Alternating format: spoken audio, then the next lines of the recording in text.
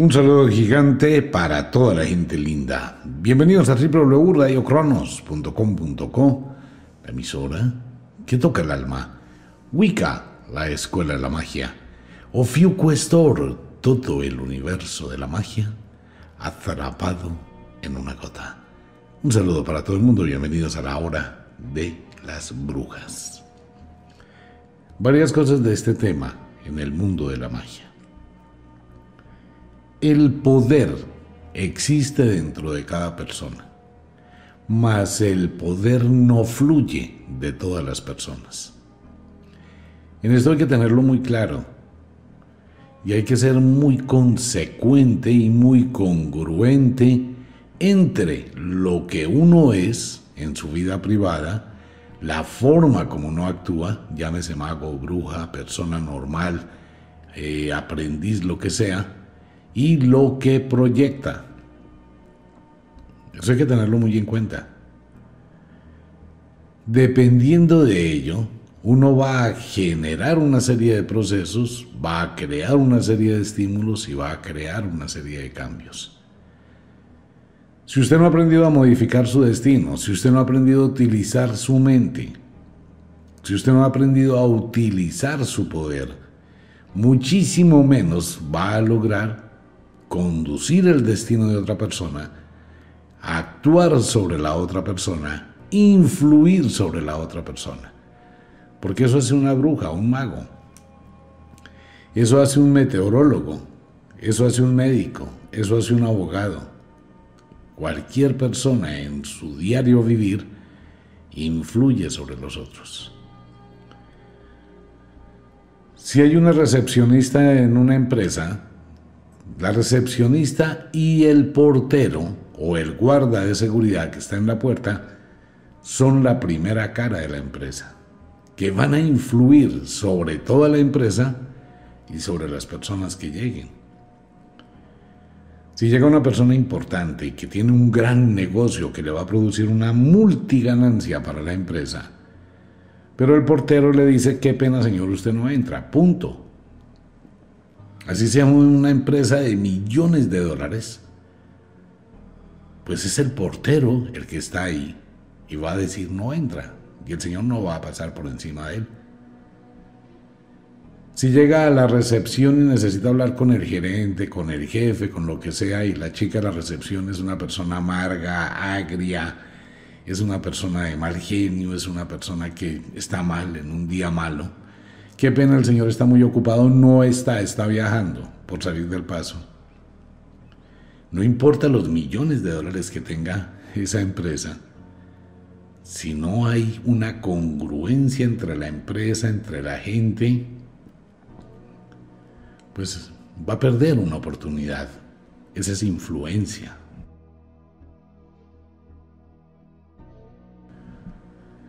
Influimos sobre las personas, influimos sobre las cosas, influenciamos en nuestro entorno.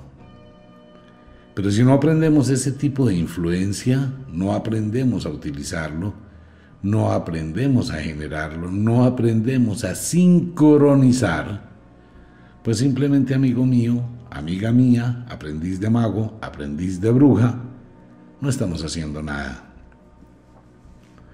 Y bajo ese orden de ideas, ¿Qué va a pasar? Que ni siquiera tenemos la forma de influenciarnos a nosotros mismos. ¿Cómo se autoinfluencia uno? Automotivándose. Venga, voy a entrenar, voy a dedicarle un tiempo todos los días, una hora, 40 minutos a entrenar, pero en forma. Entonces son 40 minutos donde me voy a comprar un reloj que mida mi frecuencia cardíaca y voy a mantener 40 minutos a 160 pulsaciones por minuto. Eso es exigente. Estoy empezando a influir sobre mi vida y por ende mi destino.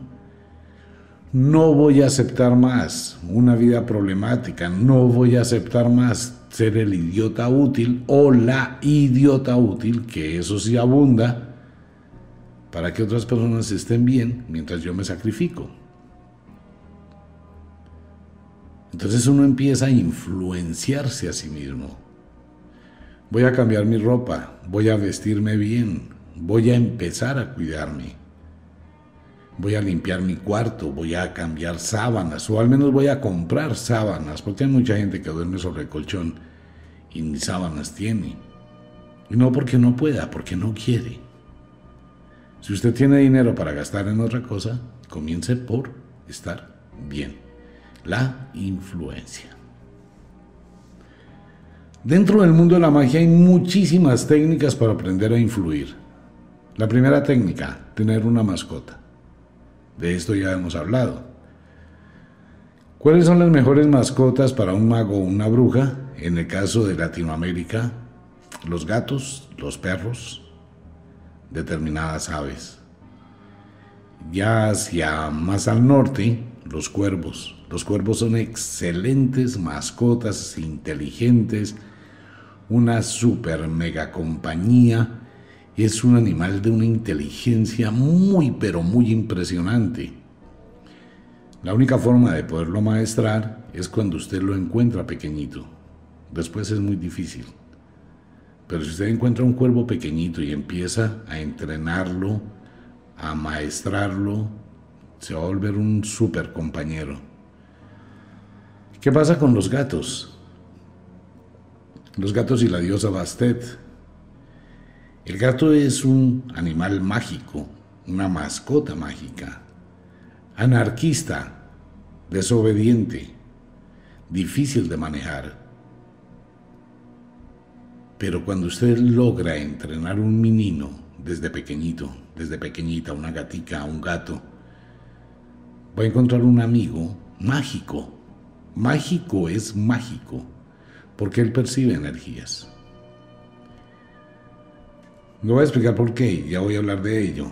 Si usted tiene un perrito o un perro, una mascota, y lo sabe entrenar, usted va a em, aprender a influenciar sobre el perro energéticamente, porque ni el perro, ni el gato, ni el cuervo, ni ninguna mascota conocen lenguajes. No se adaptan a un lenguaje. ¿Qué reciben? Energías. Si yo llego a una casa y el perro ni siquiera me ladra, está ahí acostado, tranquilo, no sale a olfatearme, es un perro que está equilibrado, entrenado, está en armonía. Si entro a una casa y la persona ahí espere, espere que el perro no se me vaya a escapar, ya es un perro inquieto. Si entro a la casa el perro viene, me muerde, me ladra, está molesto, sube por todo lado, es una mascota muy inquieta, la mascota está transfiriendo la inestabilidad y la falta de influencia que hay en ese lugar. El gato es lo mismo. Ok. ¿Qué pasa con los gatos? Más que con los perros, aunque los perros también tienen ese sentido. Pero el gato lo tiene más desarrollado. Vamos a suponer que usted consigue un gatico, desde pequeño, recién nacido.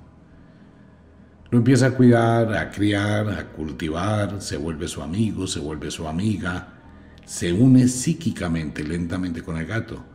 El gato va a generar una frecuencia, haga de cuenta que usted tiene un radio y está sintonizando una emisora.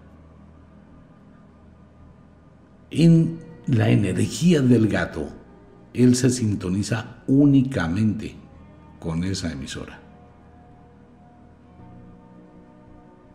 Y cada vez que usted cuida a su gato, que tiene acción con el gato, que se unifica con el gato, el gato se sintoniza con esa emisora, que es su mente, su psiqui, su pensamiento. Por eso el gato nunca se pierde. Y el gato se puede ir y usted lo puede dejar, no sé, lejísimos de su casa, el gato va a empezar a, buscar, a rastrear en el espacio su energía psíquica.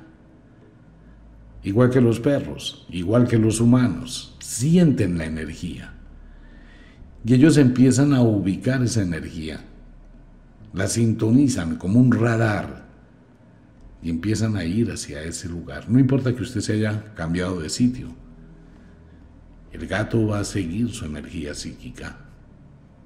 Y si no se muere, si no se accidenta, algún día volverá. Nosotros generamos influencias y recibimos esa influencia o esa comunicación. Por eso la gente se une mentalmente con muchísimas cosas que no le sirven y muy pocas veces se sintoniza con lo que le sirve. ¿Por qué? Porque nunca nos detenemos a pensar, nunca le colocamos un freno a nuestras decisiones y nos dejamos arrastrar por una serie de situaciones o circunstancias y terminamos enganchados en algo que nos va a producir daño. Es como si uno atrajera ese daño. Vamos a hacer un curso práctico. Vamos a hacer lo siguiente. Esto va para muy poquitas personas. El medallón que estamos entregando es un entrenador, básicamente. Aquí podemos hablar de otra forma, en otro contexto, en el curso de magia.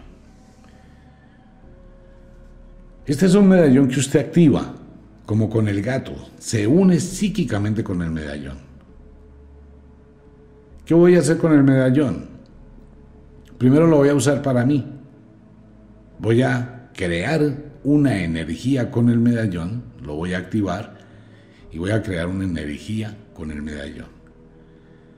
Pero ocurre que quiero influir para armonizar la vida de una persona, mi esposo, mi esposa, mis hijos, mis hijas, un familiar, etc.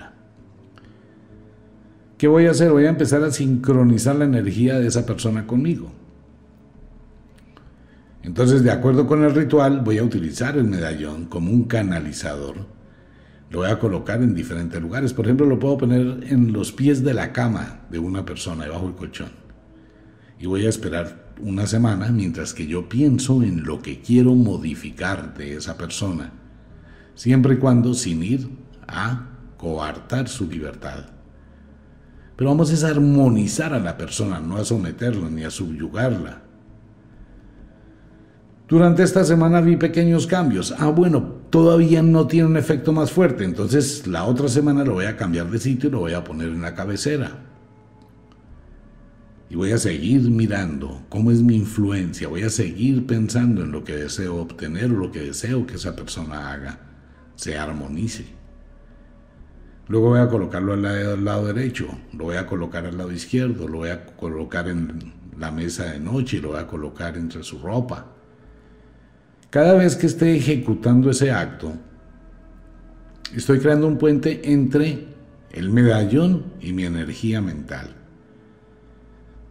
Luego, ¿qué voy a hacer? Luego lo voy a hacer con otra persona, luego con otra, luego con otra. Estoy entrenando el poder del medallón con mi energía mental. Ok, esto tiene una referencia en la antigüedad muy fuerte. Las abuelas tenían ese poder.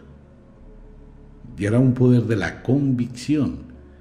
Pero ese poder de la convicción debo entrenarlo.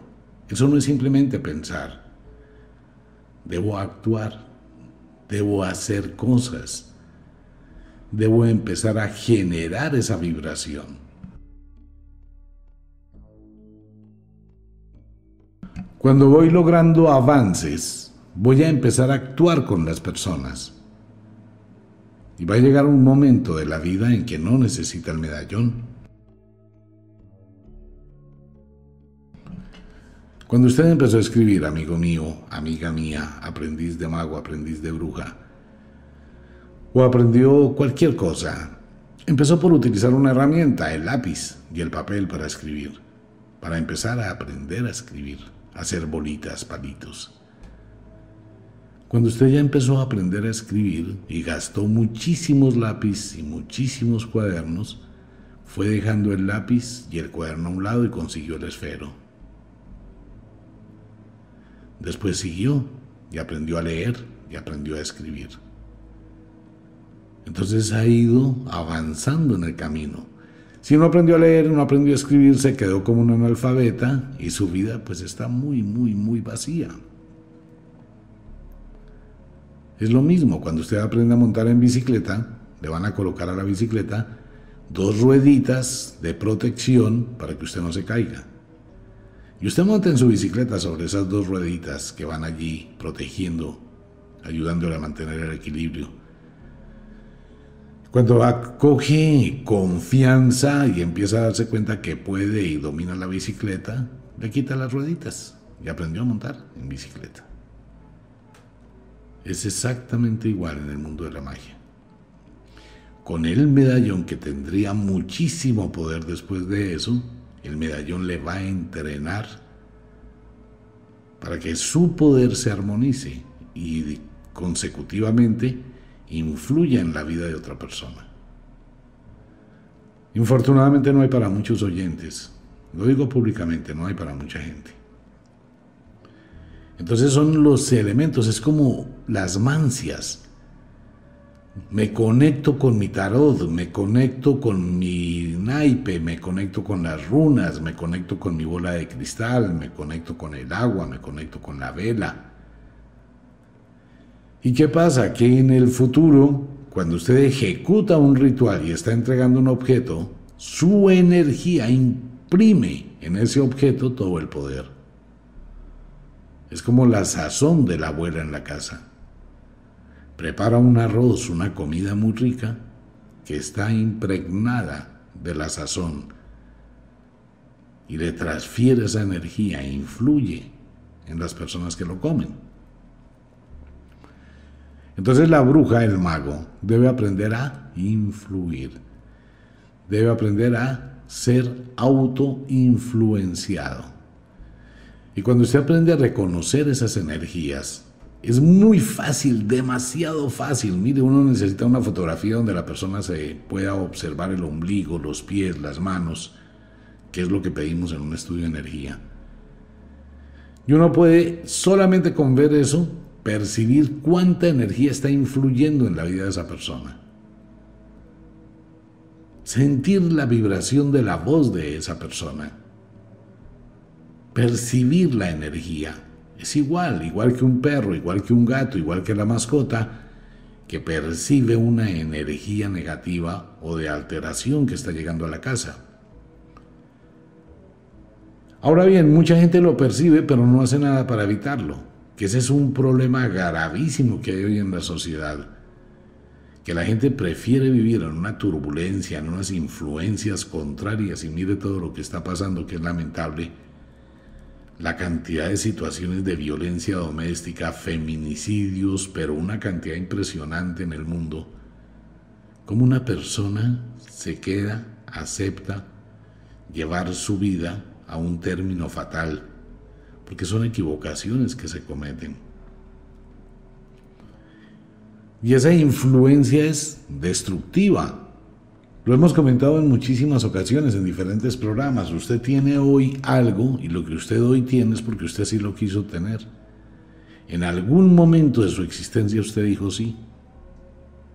Solo que no sabía en ese momento que se estaba subiendo a un barco que iba a caer a un abismo, pero debió sentirlo, porque eso se percibe.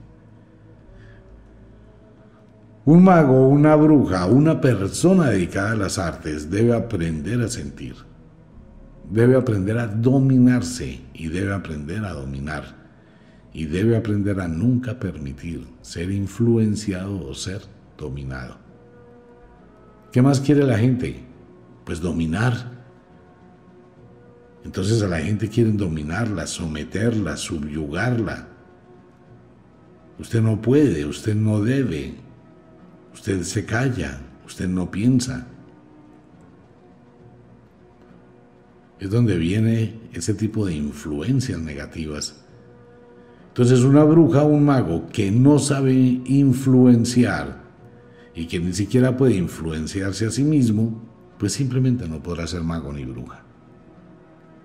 Usted tiene que hacer una valoración de cómo está su casa, cómo está su vida, quién es usted como persona, quién es usted como ser humano, cuáles eran sus metas a los 17 años, cuáles eran sus ilusiones, qué ha logrado hacer de ello, qué cosas han influenciado en su vida negativamente como un freno. Entonces están las opciones y las alternativas Voy a cambiar ese influjo por otro, pero voy a aprender a influir. Y eso tiene poder.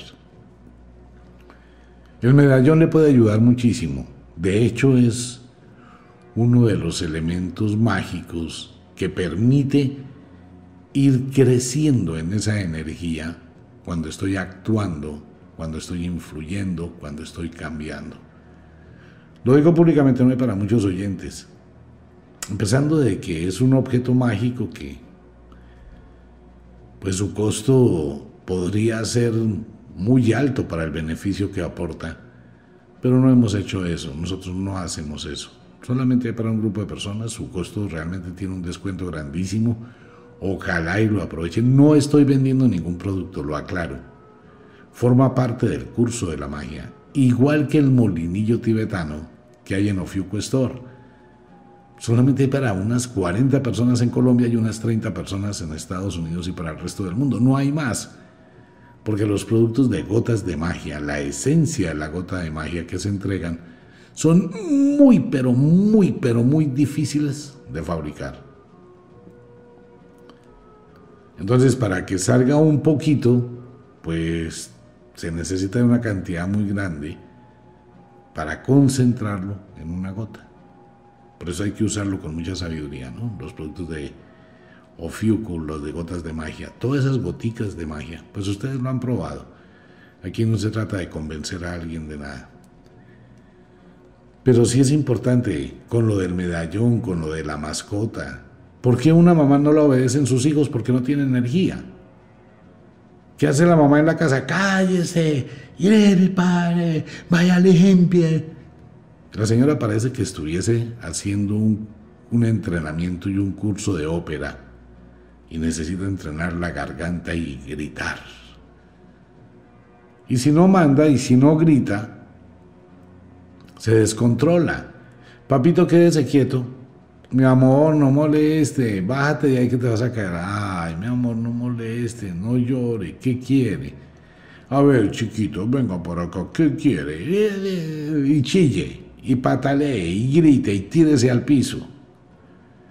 Y la mamá y el papá, ay, ¿qué quiere, mi vida? ¿Qué quiere? ¿Quiere la chocolatina? Venga, lo de la chocolatina. ¿Qué quiere? ¿El carrito? Venga, lo el carrito. ¿Qué quiere? Lo subo, lo llevo, le traigo. Entonces el papá y la mamá no tienen un carajo de autoridad y están educando un monstruo. Están educando un niño violento, una niña violenta. Mire, simplemente analice. Cuando el niño está inquieto, cuando el niño está incómodo y usted no tiene actitud, no tiene autoridad, y el niño está en un desespero, usted lo premia. Le da lo que él pide. Le da lo que la niña pide. Y usted se convierte en el esclavo de su hija, el esclavo de su hijo. Y empieza a orbitar alrededor de su hijo. ¿Haciendo qué? Dándole. Entonces él asocia pataleta, grosería, vulgaridad con premio. Y encontramos estos niños en centros comerciales, en edificios, en buses, en aviones, en muchos lugares, por ejemplo en un consultorio médico, el niño pegándole a la mamá, tratándola mal y la mamá toda avergonzada, papito, quédese quieto, mi amor, quédese quieto. No, pues que es una mamá que no tiene autoridad. ¿Y dónde empezó el problema? En los papás modernos que no saben cinco de tener hijos y piensan que tener hijos es hacer una cantidad de bobadas y de fiestas y de tonterías. El niño empieza a dominar, a influir sobre el papá y la mamá desde que nace. Pues el niño quiere a toda hora que lo estén alzando. El niño quiere sentirse protegido a toda hora, quiere, no quiere destetarse. Entonces si el niño lloró, venga rápido y lo alzo. Si el niño no se duerme, venga el señor a las 2 de la mañana runchando al niño y ya se durmió en los brazos, lo puso en la cuna y ¡ah! el berrido. Entonces venga otra vez, entonces ya el señor está cansado, tiene que trabajar, la señora se levanta y se turnan, ¿no? Y así pasan. Entonces el niño está cogiéndoles una ventaja tenaz. Porque eso no existía antes. Porque existía autoridad. Cuando el niño hace el primer berrinche para dormir, ¿qué hace el papá y la mamá? Pues esa noche no van a dormir, ninguno de los tres. Ni el papá, ni la mamá, ni el niño. No duermen. Y no lo deja dormir. Que el niño está ahí cabeceando, yo voy y lo despierto. No, es que no te vas a dormir, punto. Sigue cabeceando, no lo dejo dormir. Entonces, ¿qué pasa el otro día? Que el niño está hiper mega cansado. ¿Y qué quiere? Dormir. Entonces lo voy a empezar a condicionar, voy a influir, voy a dominar, voy a entrar en su mente. Ok, lo voy a acostar a las 8 de la noche. El niño está tan cansado que va a dormir toda la noche. Y lo levanto temprano y no lo dejo dormir de día. Empiezo a mostrarle autoridad. ¿Y qué es la autoridad? Una influencia. ¿Cómo funciona la relación pareja? La relación pareja funciona exactamente igual. Mi amor, pero no seas así. Ay, sí, mi vida, perdóname, tienes razón. Venga, yo le voy a comprar el vestidito. ¿Quién influye a quién? Entonces siempre hay que colocar las cosas en el equilibrio. Pero si usted no tiene carácter, si usted no se puede influir a usted mismo, pues ¿qué pasó? Que el niño sigue creciendo, la niña sigue creciendo y cada día va a ser peor. Se acostumbró a que usted es el esclavo de él o la esclava de ella. Se volvió el papá proveedor y está dañando a su hijo, lo está volviendo un niño inútil. Y cuando tenga 12, 13 años le va a crear un problema gravísimo. Ya no es el niño pequeñito, no es el niño lindo, ya es el joven desafiante, grosero, maleducado, maleducado. Pues claro, usted lo educó muy mal y empieza usted a tener canas y a sufrir y mirar qué hace, pero ya no lo puede controlar. ¿Qué debo hacer con un niño que ya tiene 12, 14 años y que es totalmente terrible? Eso es un problema muy sobado. Se necesita de muchísima disciplina y a veces ya es muy tarde. En esas condiciones y menos en los países donde hay tanto proteccionismo infantil y juvenil, es muy difícil actuar. No, es que eso no se trata de golpes, son otro tipo de actitudes. Él debe confrontarse y debe en cierta forma tener un poquito de, de respuestas diferentes, de exigencias, que valore las cosas, ¿no? No es darle tan fácil todo sino debe como sentir la necesidad, sentir la dificultad, sentir el desamparo y empezar a buscar alternativas por sí mismo. Eso le ayuda muchísimo a madurar. Por eso las niñas y los jóvenes que salen de muchas ciudades o muchas veredas o muchos sitios campesinos muy jóvenes, 13, 12, 14 años, y tienen que vivir solos o vivir solas, y tienen que trabajar en una casa de familia y tienen que hacer una cantidad de cosas para sobrevivir, son personas que van a llegar muy lejos. Mientras que a los niños que se les da todo, se influyen todo, pues no tienen nada, nunca llegan a hacer nada. Influencia. Usted influye sobre la vida de los demás en su entorno y influye sobre la vida, pero si no practica no podrá hacerlo. Comenzamos a pensar en un gato, por ejemplo en Estados Unidos, la gente que pueda tener un cuervo de mascota, en Sudamérica no hay cuervos, hay urracas. En Sudamérica no hay, sin embargo, en alguna ocasión han aparecido algunos cuervos. De pronto son traídos por el viento o lo que sea, o alguna persona que los trajo y se les escapó. Pero normalmente no hay cuervos. Usted puede tener un gato, puede tener un perrito. Comience a buscar perritos o mascotas con las cuales usted tenga la habilidad de entrenarlos.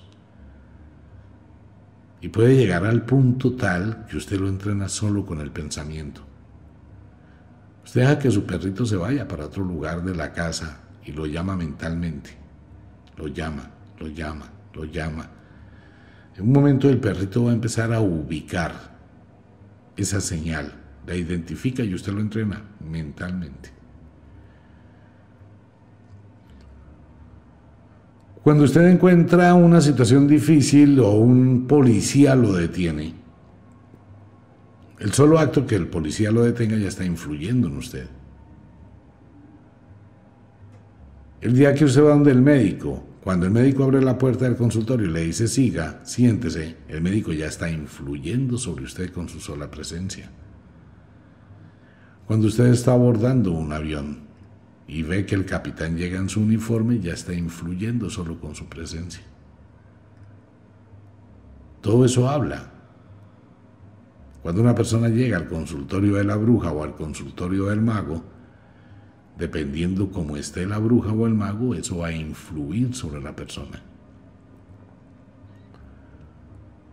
¿Cómo influye usted sobre la vida? Mírese a usted mismo, usted es aprendiz de magia, usted es aprendiz de mago, aprendiz de bruja. Mírese a sí mismo cómo influye, cómo impacta, cómo es su autocontrol.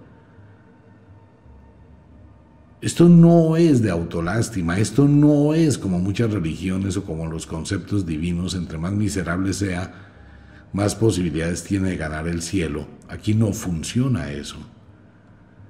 En la magia es que cuanto más poder libere de usted, más poder va a proyectar, más poder va a tener. Por eso es que las personas que han sufrido mucho, que han vivido experiencias muy difíciles, mujeres que han tenido que lidiar con sus hijos, que han superado mucha adversidad, señores que han vivido situaciones difíciles, profesionales que han vivido situaciones complicadas, son los mejores magos y son los mejores y las mejores brujas. ¿Por qué? Porque han superado muchos retos. Entonces ya tienen autoridad moral y esa autoridad moral les permite influir más rápido, les da seguridad. Eso hace la experiencia. Y si no he vivido experiencia, si no tengo nada y tengo y quiero y me gusta la magia, ok, empiece a aprender de las experiencias de los demás. Porque eso también es aprendizaje. El instructor de aviación, cuando el piloto empieza a ser aprendiz, no sabe nada. Y el instructor le enseña. Todos los aviones y todo el proceso de volar un avión son una serie de protocolos precisos, específicos, predeterminados. Y hay una serie de emergencias para una cantidad de procesos que se pueden presentar y para eso se entrena al piloto. Pero el piloto está, el aprendiz, el alumno, está aprendiendo de la experiencia del maestro. Cuantas más horas de vuelo tenga su instructor, mayor cantidad de experiencia tiene. Igual pasa con los médicos en los hospitales, con las enfermeras, con todo. Lo mismo. Si no tengo el aprendizaje propio, voy a aceptar la experiencia de los demás. Y eso va a ayudarme a influir en mi vida y va a influir en mi vida. Así como la bruja y el mago, a través de una lectura de cualquier mancia o cualquier oráculo, va a influir en la vida del consultante, va a modificar, y dependiendo cómo sea la bruja, pues la influencia va a ser mayor, menor o neutral. O de pronto, si la bruja o el mago son muy frágiles, van a terminar siendo influenciados por los consultantes. En el mundo de la magia hay que aprender a influir. Cuanto más sutil es la influencia, más poder tiene. Si el niño está gritando, pero la mamá no grita, solo lo mira fijamente, inamovible. La mamá transmite una energía. ¿El niño qué hace? El niño espera que vayan, lo alcen, lo consientan. La mamá no se inmuta.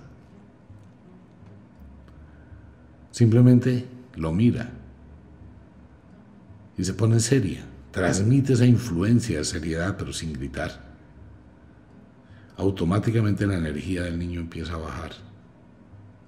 Y si la mamá no se inmuta y lo sigue mirando, lo sigue dominando, el niño empieza a relajarse y empieza a comprender que por ahí no es. Tiene una mascota, ok. ¿Qué pasa con el perrito? El perrito se sube del sofá, se sube a todas partes, hace lo que quiera. Ok, yo voy, cojo la correa, se la pongo para poderlo controlar al principio. lo dejo quieto y me voy a ir caminando. Me voy ganando el territorio.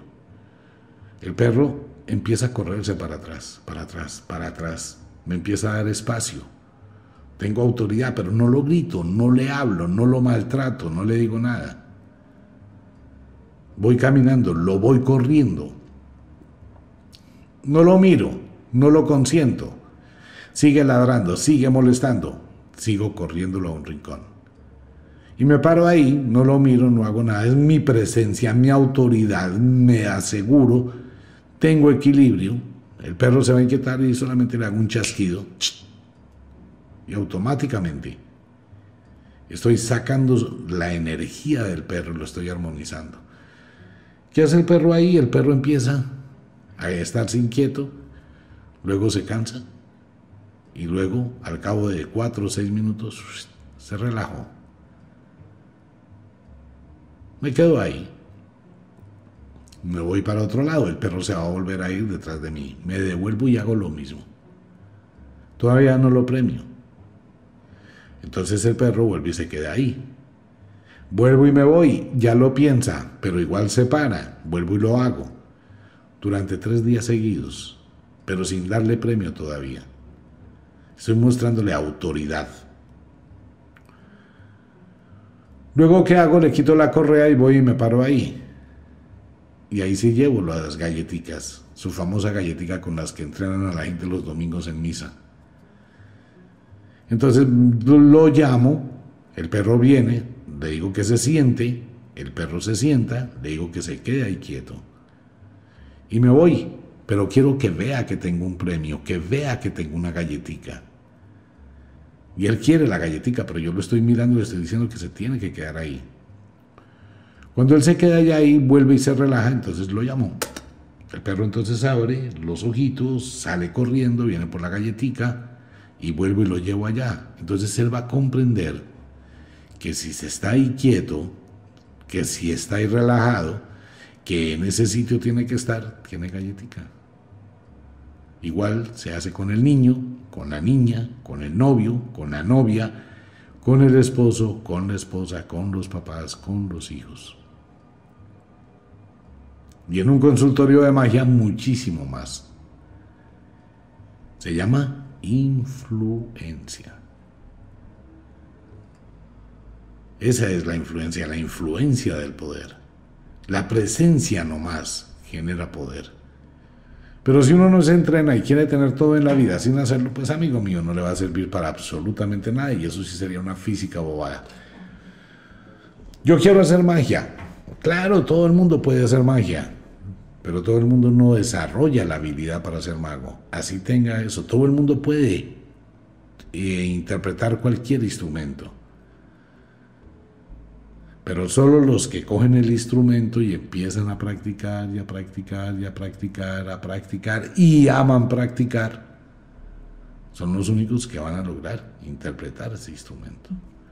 Mucha gente tiene una cantidad de instrumentos allá en la casa guardados, acumulados, amontonados, que los usó mientras los compró y después perdió el interés. Muchísima gente. Entonces, influyo sobre las cosas, las cosas influyen sobre mí. Influyo sobre las personas, las personas influyen sobre mí. Debo saber qué influencias permito que lleguen a mi vida y cuáles rechazo. Debo saber cómo influir de acuerdo a la actitud de cada persona. Me encontraré con personas agresivas. Ignórelas. Demuestre autoridad no se preste. ¿Cómo no me presto? Si a mí me escriben un mensaje ofensivo, no me voy a poner a contestar el mensaje ofensivo, porque voy a caer en la pelea. Y eso le ha pasado a mucha gente en el Facebook. Y después escriben por otros lados a insultarme, ¿no? ¿Usted por qué me bloquea el Facebook? Gran no sé qué, si sé cuándo es que se cree el dueño. Voy a poner a pelear con esa persona, a decirle qué pena, pero es que es mi muro y yo coloco en mi muro lo que yo quiera, porque es mi muro y usted es un invitado. Si a usted no le gusta lo que estoy colocando en el muro, pues no lo lea. No entre a mi página si tanto le fastidia, si tanto le molesta. Entonces hay gente que hace unos comentarios subidos de tono. Me voy a poner a pelear con ellos. ¿Por qué voy a pelear y voy a discutir con una persona que ya está alterada, que ya está incómoda, que quiere guerra, que quiere violencia? Pues simplemente me voy bloquear. Bloqueado, punto. Me quita el problema encima. Esa persona cuando se dé cuenta que quedó bloqueada más se pondrá mal genio, más dirá una cantidad de cosas. Es que no sé qué, es que sí sé cuánto, pero tendrá que pelear solito, solita, allá donde esté, tendrá que pelear. Porque, ¿Por qué? ¿Cómo? Para pelear se necesitan dos. Si yo no voy a permitir que me influyan, no me altero. Si permito que algo genere una influencia sobre mí con sus ataques, pues voy a entrar en una guerra, voy a entrar en un conflicto. ¿Qué es lo que pasa en las casas, en la vida normal de los seres humanos hoy en día? Que la gente no se detiene. La gente entra en conflictos rapidísimos, tiene una habilidad y una rapidez mental para generarse un problema. Por eso hoy por hoy 99,9% de las parejas no pueden dialogar. Cuando empiezan a hablar terminan discutiendo y cada cual va levantando la voz un poco más. Hasta que uno de los dos sale y se va. Ahí quedó la, el diálogo, ahí quedó la comunicación. Y si están en una separación allá en el juzgado, pelean, se tratan mal. Venga, uno descubre con quién vivió cuando se está separando. Así de simple. Entonces, si uno no aprende a manejar la influencia, y no estoy hablando de brujería, la influencia de la brujería la vemos de hoy en ocho días. Estoy hablando solamente de la influencia del diario vivir, de las cosas simples de la vida, cómo me afectan y cómo las afecto. Si no tengo autoridad, si no tengo dignidad, si no tengo carácter, si no tengo la capacidad de tomar decisiones, para quitarme una cantidad de espinas, de lastres, de vulgaridad, pues ¿cómo puedo manejar la vida, mi propia vida y el destino de otro o de otra? No existe cómo. Entonces usted si va a ser una bruja, va a ser una muy mala bruja. Si va a ser un mago, va a ser un pésimo mago. El principio de la sabiduría de la magia es que lo aplique usted a su beneficio. Ese es el principio de la magia. Y no cometa errores. Mire lo que ha pasado con algunas personas, y hablábamos en días anteriores de este tema. Cuando la gente presume demasiado, ¿qué decía en la radio y en los programas? Que cuando la gente presume demasiado, es la señal de que todo va a cambiar. Eso es lo que pasa con la presunción. Ya hablábamos, uno no necesita presumir de nada. No necesita tener un consultorio enchapado en oro con no sé cuántos millones de lujos. Una persona que realmente se dedica a la magia tiene algo muy natural, muy simple nada soberbio, unos locales grandísimos con unos espacios totalmente abandonados. No, una bruja, un mago empieza con una mesa redonda de dos sillas y un lugar agradable, pequeñito. Porque en ocasiones escriben algunas personas, es que yo quiero colocarle unas cortinas de no sé qué material y quiero colocar un local que tenga tres oficinas y que tenga, no, no, no le bote plata a eso, no haga eso, eso no funciona así. Porque es que en un consultorio de magia prevalece lo que hay en los espíritus, no las cosas que están afuera. La gente no va a ir a su consultorio a mirar si es de lujo, si es de plata, si está enchapado en oro. No la gente va a ir a su consultorio porque tiene un problema en el alma. No le importa lo demás.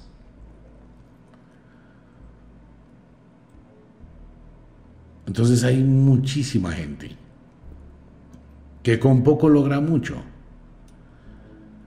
Conozco una brujita en Ciudad Roma, allá en Bogotá. Otra de esas brujas mágicas, especiales, que tienen muchísimo poder. Y ella atiende en su apartamentico. Ella no tiene consultorio, no tiene nada de ese cuento, no se hace publicidad, no, nada. Y es una excelente bruja. ¿Y cómo se comunica uno con ella? Pues tiene que esperar, llamar, pedirle la cita. Ella no tiene ya la colección ni hace volantes y va a traer mil personas, no. Es esa parte armoniosa, esa parte tranquila como crece una planta, influir. Hay brujas y magos que viven lejísimos en muchos pueblos y en muchas veredas, allá en la montaña y lejos, y si la gente quiere ir, le toca ir allá a esa parte donde no hay oro, donde no se presume, la magia no presume, la sabiduría no es presuntuosa, grábese eso. Ustedes han dado cuenta que las abuelas y los abuelos, en la medida que pasan los años, van renunciando a todo eso. El equipaje del abuelo, cuando hace el inventario del alma y el inventario de la vida, si acaso acumula unas cositas muy pequeñas de recordación, pero no se aferra a nada. Al contrario, va dejando, el abuelo es el que tenía el supercarro bonito y le dice al nieto, tómate el regalo. Va desprendiéndose de las cosas, porque se da cuenta que eso no tiene valor, no tiene sentido. Por eso en este mundo de la magia hay que ser muy cuidadoso como lleve la magia. No es que yo quiero la magia para tener plata, porque eso, eso a la lata, no, eso no es magia, es un negocio. Y si usted quiere hacer un negocio, pues hágalo. Y puede colocarle el título de magia, y puede colocarse túnicas de colores, mandarse a hacer un trono de cedro, hasta ponerse una corona, volverse un payaso, una payasa, eh, colocar un poconón de cosas impresionantes, muy suntuosas, llamativas, decorar, conseguirse un local de no sé cuántos metros cuadrados y una cantidad de cosas Sí, pero eso no es magia. Eso es un negocio. Y obvio, es una estrategia. Pero la verdadera sabiduría esa es equilibrio, armonía, tranquilidad.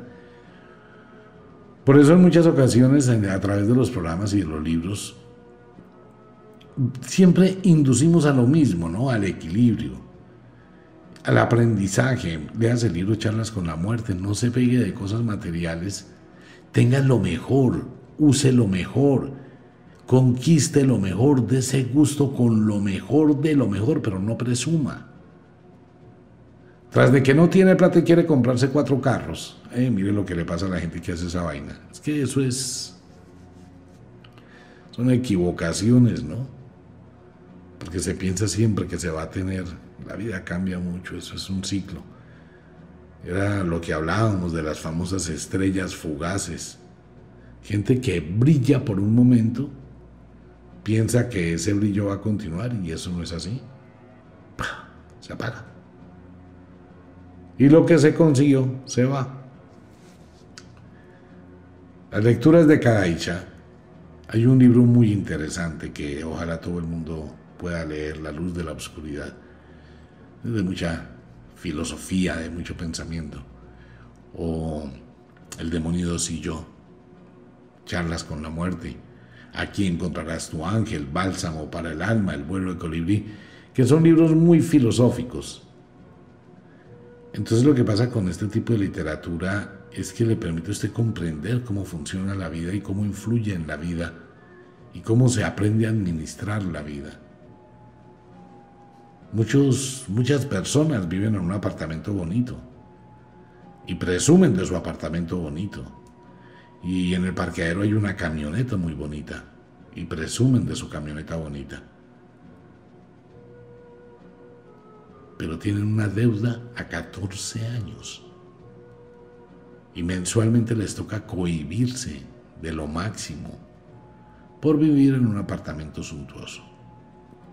¿Y cuál es la diferencia de vivir en un apartamento suntuoso o no vivir? Pues uno puede vivir en cualquier lugar. Donde uno elija, me voy a ir a vivir a una situación, a un barrio pesado, un barrio difícil, ¿por qué? No, no me voy a vivir allá, y menos ahora cuando hay internet. Me voy a ir a vivir en un pueblito cercano, tranquilo, donde no hay trancones, un pueblito relajado, sereno.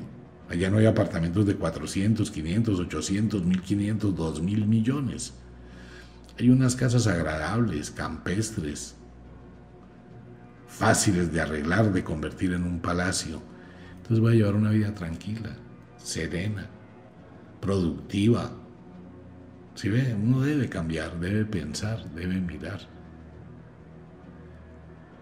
Así funciona el mundo de la influencia. ¿Y cómo me influye el mundo y cómo influyo sobre el mundo? Usted está donde usted quiera y usted tiene lo que usted quiere. Y lo que usted está viviendo es porque así usted lo quiso, así no le guste. Les recomiendo el medallón, no hay para muchos oyentes, la verdad no le hago mucha fuerza, no hay para mucha gente. Y el molinillo tibetano que está en Ofiucuestor, que es espectacular, también. Grupo de magos, grupo de aprendices de brujas. Ustedes tienen una gran opción de cambiar destinos, de modificar destinos. Trate de empezar a cambiar el suyo. En serio, de verdad. Se va a sentir muy bien cuando empiece a cambiar su destino, pero hágalo con altura, con sabiduría, no con guerras, ni con peleas, ni con violencia. Cuando algo se termina y algo comienza, es muy difícil, es traumático. Si usted es una persona que está viviendo en la oscuridad, que tiene sufrimientos, que tiene debilidades, que atraviesa por un calvario donde no hay paz en su alma, no, no le voy a cambiar la vida.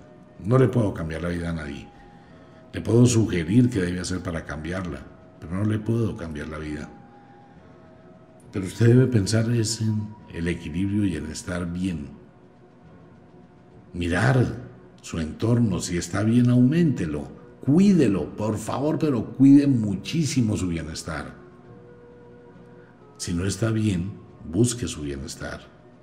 Si tiene que tomar decisiones, tómelas con altura, con sabiduría. Busque el equilibrio. Señor, señora, busque el equilibrio. Como de costumbre, el inexorable reloj del tiempo que siempre marcha hacia atrás nos dice que nos vamos.